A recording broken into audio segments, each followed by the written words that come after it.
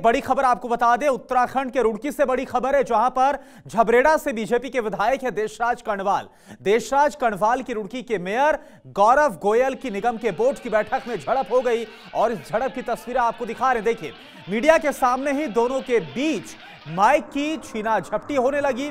दरअसल ये पूरा विवाद निर्माण कार्य के बोर्ड पर नाम लिखवाने को लेकर हुआ था। निगम बोर्ड की बैठक चल रही थी।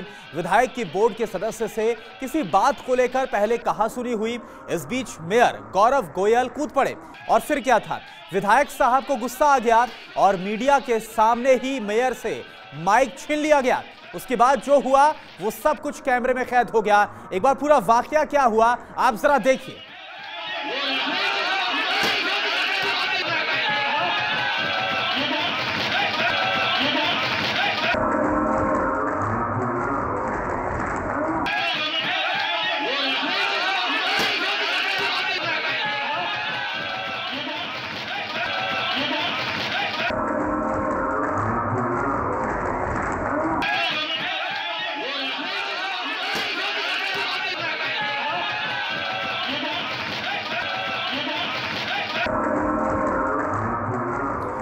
तो ये देखिए, तस्वीरों में साफ़ नज़र आ रहा है विधायक है देशराज कर्णवाल, जो कि बीजेपी के विधायक है।